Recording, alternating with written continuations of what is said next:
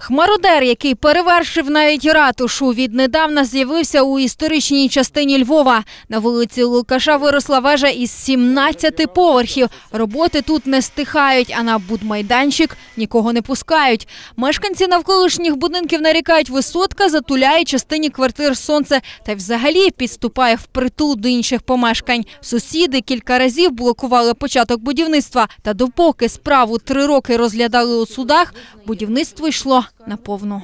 Забудовники того погодження не мають. Вони намагалися його взяти, але Міністерство культури відмовило, тому що таку висотку в історичному ареалі просто неможливо є будувати, просто е, з огляду на те, що це ж історичний ареал. Жоден суд, е, ми в трьох судах є зараз. Жоден суд не вжив заходи забезпечення, тобто, щоб на час розгляду у суді, щоб не будували. Тобто, фактично тут є якась якийсь елемент корупції 100%.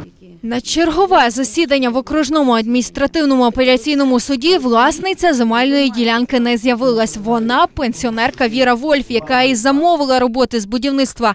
Її представник переконував, що придбав ділянку і справив будувати багатоповерхівку.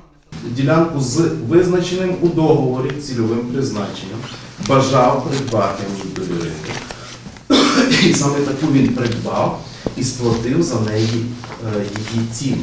Окружний адміністративний апеляційний суд постановив закрити справу. Мовляв, вона не у їхній юрисдикції. Постанова Львівського окружного адміністративного суду від 24 грудня 2014 року у справі номер 2-3537 дріб 12 дріб 1370 скасувати, а провадження у справі закрити. Ми судилися три з половиною роки по цій справі, так для того, щоб через три з половиною роки знати, а це відносно є просте питання, так що це не є справа адміністративної юрисдикції. А за три з половиною роки забудовник збудував 17 поверхів і поставив таку свічку, яка абсолютно вибивається з оточуючої забудови. Насправді власник отримав дозвіл на будівництво особняка, а не хмарочоса, стверджують у міській раді. Містобудівних умов обмежень мі- міськрада не видавала на ту, на ту висотку.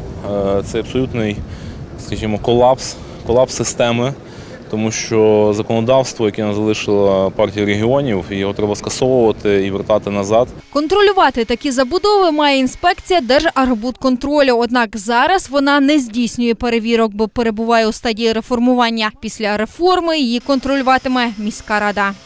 Ольга Зелісько, Роман Миленький. Головні новини Львова.